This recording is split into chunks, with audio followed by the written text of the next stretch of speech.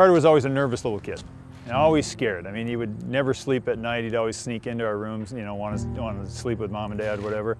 Anyway, we had the house remodeled one time and he picks up a cigarette, touches it to his lips, and he comes in, you know, freaking out, crying he's gonna get cancer.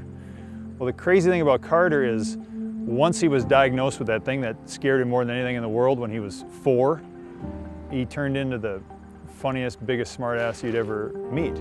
He just, it's like, okay, well, nothing else can really get me. So, and then he just, he was so witty and so funny and he'd light up a room, you know, even though he might not have been feeling the best. Full of life, full of energy. He loved hanging out with his family and friends. He was a blast. Thing about the city of Marshall that makes it special to me and my family is how it was such a community for us when Carter was sick and after he passed away. I mean, I think every business in town had Carter Strong up on their sign for a week or two after he passed away. So it was just very supportive, you know, and, it's small enough you, you feel like you know everybody.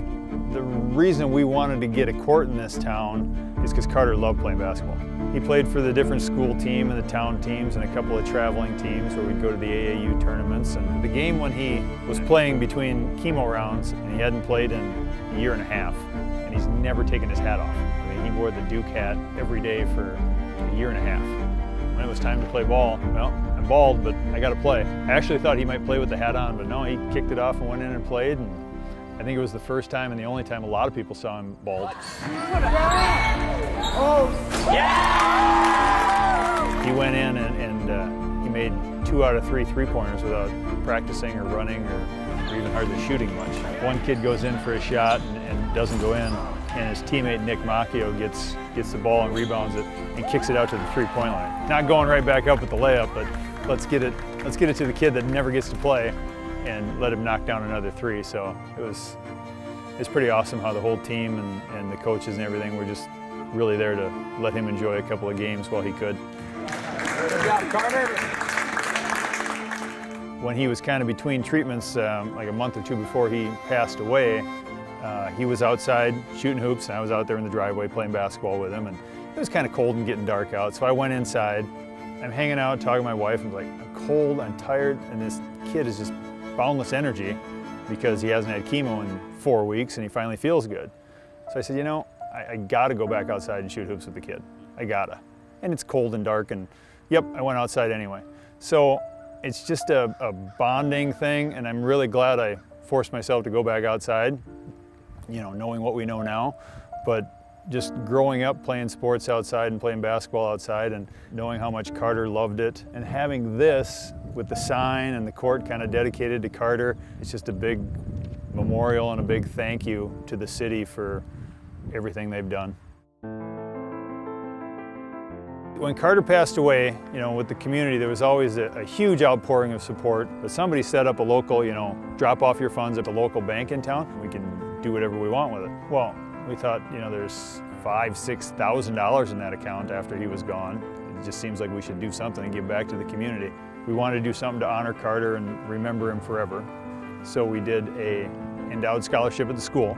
Uh, they, they, give a scholarship to an athlete who's had a cancer type situation go on in their family, whether it's immediate family or so someone who's dealt with things like that. So yeah, we just kept going and we thought, well, let's try to get an outdoor basketball court. And Carter would like this better. and then this uh, spring, Preston Stensrud at the City of Marshall said, hey, we could apply to the Timberwolves and possibly get picked for this court. So we did. We got a lot of support from the community and we were telling everybody, vote on your phone, vote on your home computer, vote on your work computer. And then a couple of big industries in town. I know the Schwan's Food Company had all their employees voting every day in town. They'd send out an email. And US Bank, whose part sponsor, has a big uh, leasing division out in Marshall, Minnesota. So they had all their employees voting. So I mean, it's pretty cool when you know a couple of the largest employers in town are telling their employees, you need to take five minutes, go on the website and vote. That also falls back on part of the community support that we received is everybody voted on every electronic device they had for, for a month straight. But you know, the day it was announced that we, that we finally won it, wow, I can't believe it. You know, it's really gonna happen. And now that we see it, it's like, wow, it, yeah, it really happened. So it, yeah, it's incredible. This started as people set up a fund down at the bank when Carter passed away to help the family out with things, and it was overwhelming how much money it was. So we decided to do a little bit of fundraising and present it back. And, and we kind of had a little seed money to get this going, but uh, huge thanks to the Timberwolves and U.S. Bank for picking up the big portion of the check.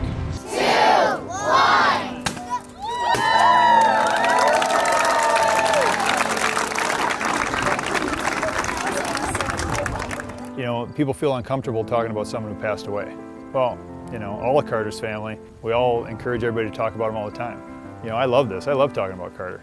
The one thing about this living on forever and, and having that sign, you know, and whenever kids are talking about where they're going to go play basketball, they're going to go play basketball at Carter's court and give them a reason to talk about him. And next generation will ask, well, who's this Carter kid? You know, why has he got this big basketball court named after him? And they can say, you know, he's a kid that young kid that died at 14 when he had cancer, but he lived his life and he was as happy as anybody could be given his situation.